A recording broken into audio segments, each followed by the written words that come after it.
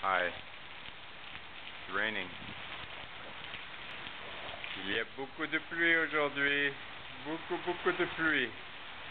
Je vais vous appeler dans quelques minutes, d'accord? Michel, je pense que la Russie a gagné contre l'Azerbaïdjan. Et Maggie, euh, Annabelle est partie en Angleterre, alors elle n'est pas là. Je vous aime.